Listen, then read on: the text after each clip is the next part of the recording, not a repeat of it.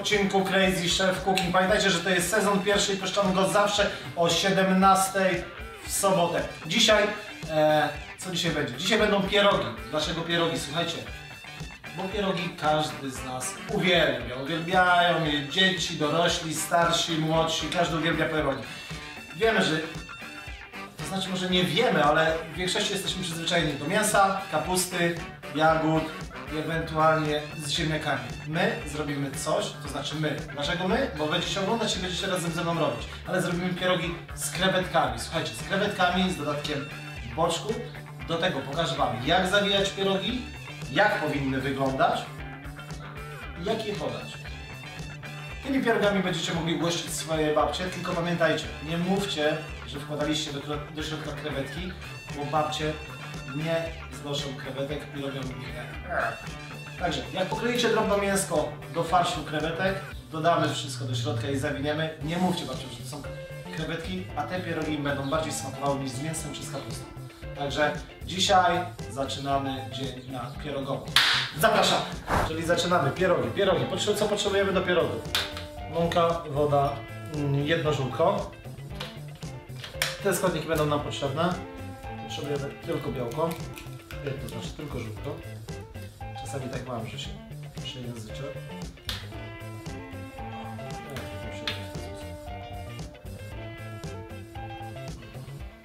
Wsypujemy mąkę, zostawiamy delikatnie mąki do podsypania. Tak jak robią to Wasze babcie, tylko dodaję żółtka. Tylko z tego względu, aby uzyskać lepszy kolor ciasta. I przy pieczeniu jest zupełnie inaczej się zachowuje. Do tego woda powinna być ciepła. Ciasto mamy już wyrobione.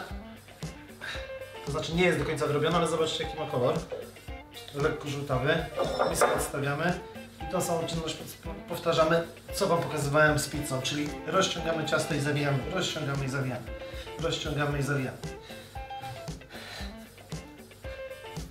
Czyli wyrabiamy sobie ciasto,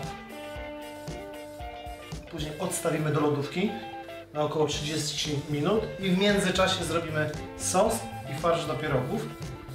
Jak będziemy mieli te wszystkie rzeczy zrobione, zajmiemy się krojeniem, zawijaniem i formą pierogów. Ciasto przykrywam wilgotną ściereczką, pamiętajcie, i szybciutko do lodówki. Farsz.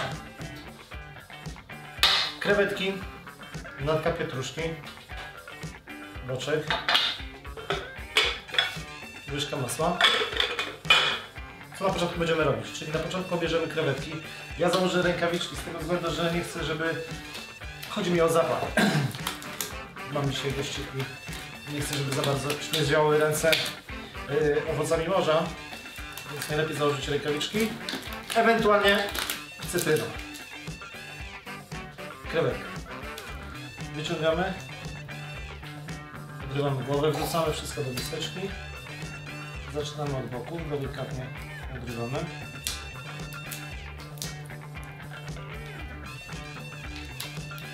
Zużywam około 6 krewetek.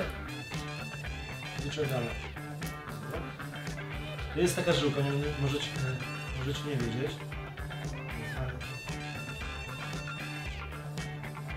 To jest ta najciemniejsza część. Krewetek. Pamiętajcie, jeżeli nie dostaniecie świeżych krewetek, zawsze możecie kupić e, mrożone. Jeżeli kupujecie mrożone, pamiętajcie, aby nie były parzone, czyli były surowe. Czyli po odmrożeniu powinny mieć jasny kolor, nie różowy. Wtedy mięso jest surowe i gotuje, krewetka się tak naprawdę w pierogu. Ale pamiętaj, jeśli nie dostaniesz świeżych krewetek, możesz użyć mrożonych krewetek w skorupie, pamiętaj, tylko w skorupie zamrożonych. Są totalnie jasne i też nadają się do pierogi. Obrane krewetki i wypłukane. Zobaczcie, nie mają już, wszystkie są oczyszczone. Kroimy delikatnie w kostkę, do tego dodajemy boczek i natkę pietruszki. Z natki pietruszki tylko używamy tych części. Te części zużyjemy do sosu. Sos. Olej. Delikatnie smarujemy na dnie. Schemat się nagrzeje. Do tego będziemy potrzebowali wszystkich skorup z sześciu krewetek. Już nam się grzeje. Do tego dorzucamy końcóweczki natki pietruszki. Gdzie lecisz? 6 wiązek koperku. Przykrywamy to wszystko. I tak gdzieś smażymy około 2 do nie maksymalnie 2 minut, przewracając i miesza, mieszając cały czas. Mieszamy. Może trochę strzelać, ale nie bójcie się. Zapach jest przepiękny, po przepiękny.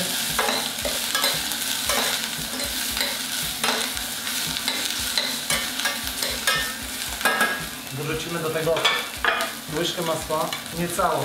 Możemy powiedzieć, że płaską. Coś takiego. Zobaczcie jaki dym leci, także to powoduje, że wszystko delikatnie nam się przypala. Za chwilę wylejemy to około, myślę, że 100 ml białego wina. Jest to wino musujące, czyli tak zwane z bąbelkami. Ach, ten zapach.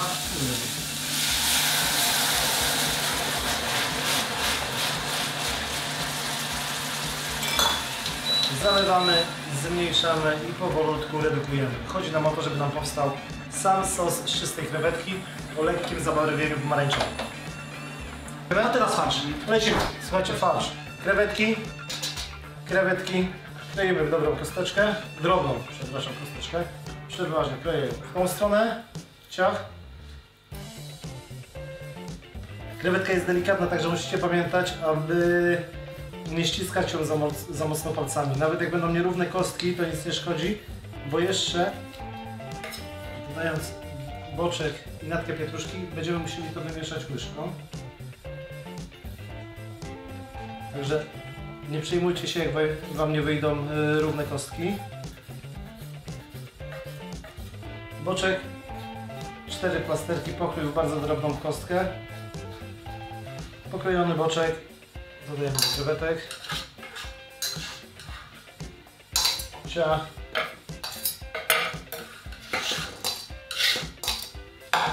I natkę pietruszki. Natkę pietruszki najlepiej delikatnie zawinąć.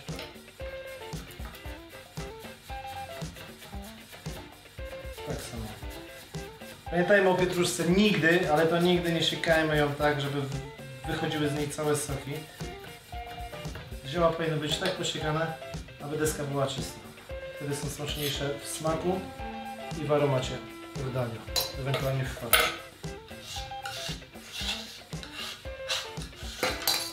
Dodajemy pół łyżeczki masła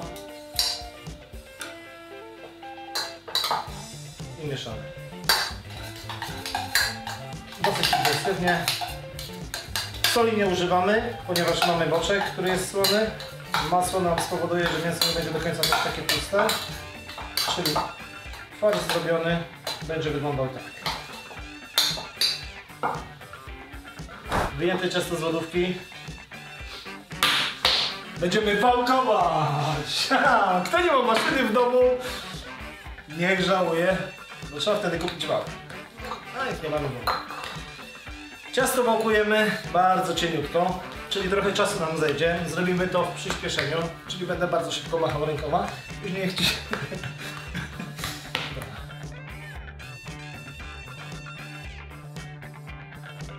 Słuchajcie, rozwałkowane ciasto, odklejamy tą końcóweczkę i kroimy sobie już w tą stronę.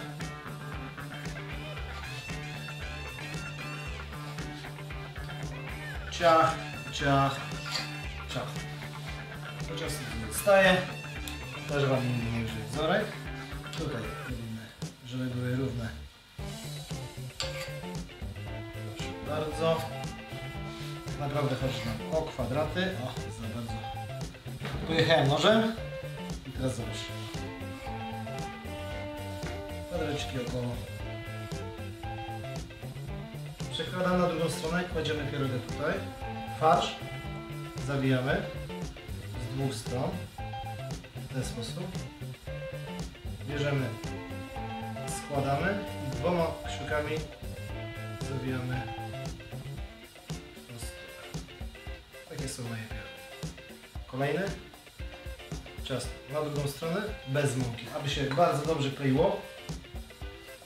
Farszyk. Ciach.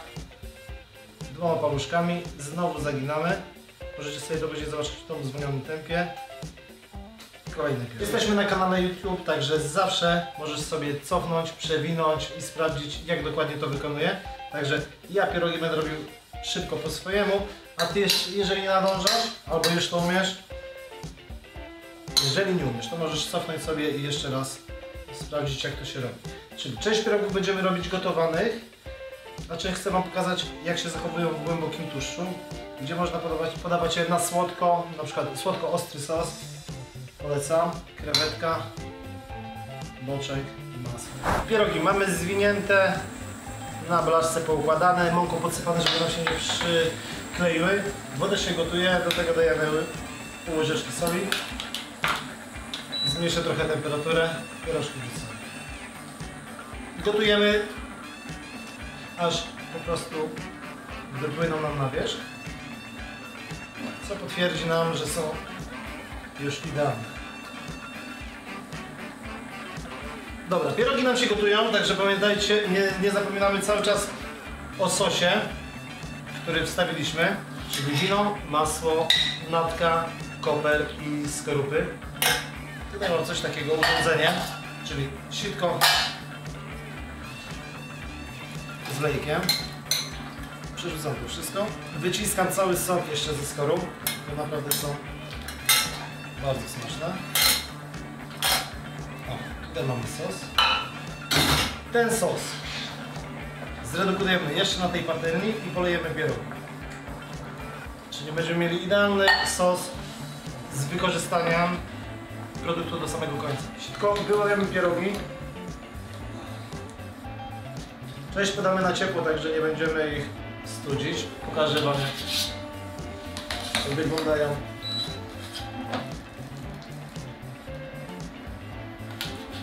Zobaczcie, sosik już dochodzi, ściągamy go, włączamy, dodajemy delikatnie masło i zagęszczamy. Przelewamy. Do tego szczypiorek.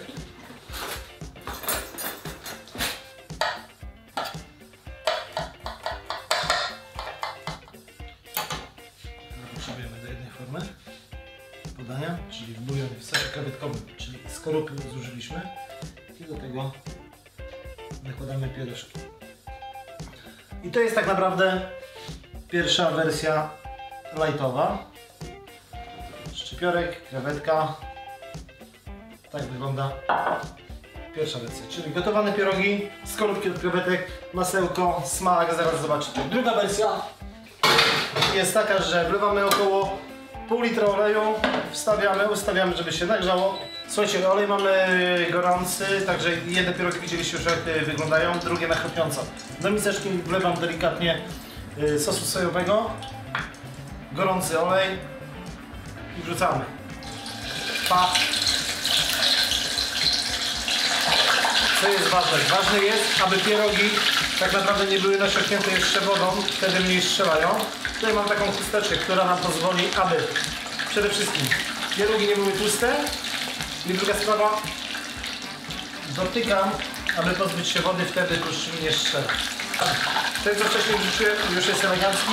Wykładam go na serwetkę tak, aby, aby, aby, aby pozbyć się tłuszczu. I kolejny pieróg. I jedziemy coraz szybciej, tłuszcz nam się coraz bardziej robi gorący. Żartuję. Jest okej. Warto sobie zakupić taką pęcetkę, może być taka pęcetka, może być też inna pęcetka, może być też taka pęcetka, albo może być też taka pęcetka, bo to zależy, ważne, żeby sobie paluszków nie poparzyć. W międzyczasie deseczka, szczypiorek,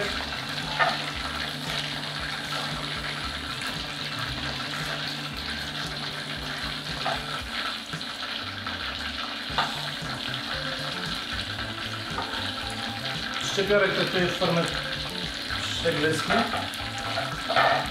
i układamy sobie pierogi. Pierogi są na chrupiącą.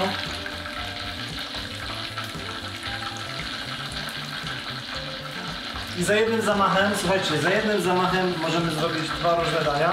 które będzie jedno wyglądało tak, a, a drugie.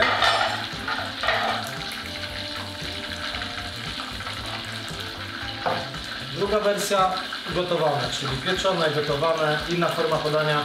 Pamiętajcie, jecie zawsze oczami, to jest podstawa. Ja jak przychodzę do restauracji, czy jem u kogoś w domu, zawsze jak dostaję, uwielbiam jak ten talerz ładnie wygląda, ładnie pachnie i przede wszystkim jest estetyczny.